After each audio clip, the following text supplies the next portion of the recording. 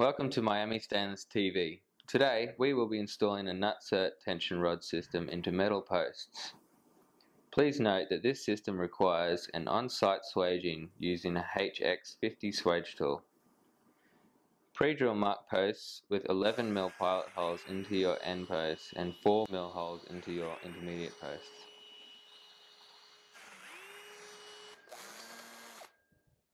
Easily insert nut rivets with our HNO2 nut rivet tool. Find out more about this by visiting our resource section at miamistainless.com.au.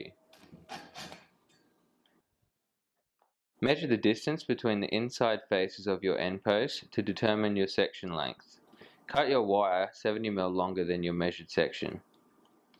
Thread the finishing stop and swage terminal into the wire and crimp four times using the HX50 swage tool on setting 6.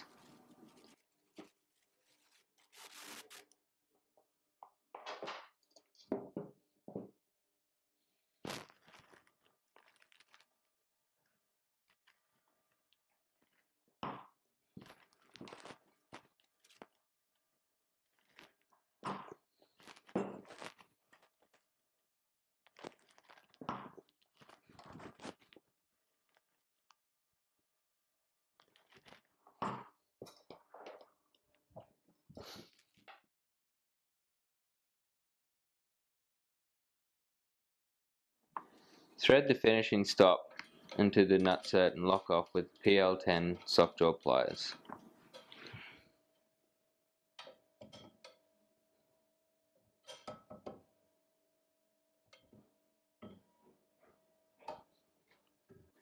Pass the opposite end of your wire through the intermediate post and thread on the finishing cap, tension rod and swage terminal, crimping four times.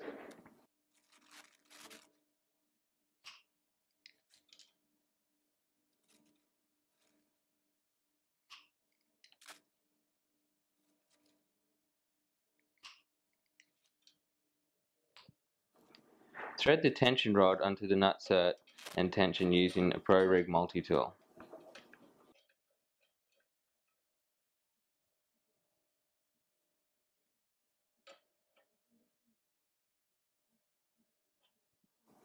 Lock the system in place with your soft jaw pliers by tightening the finishing cap against the nut rivet. Repeat until all of your sections are complete. Thank you for watching. Subscribe to our YouTube channel to get the latest videos from Miami Stainless.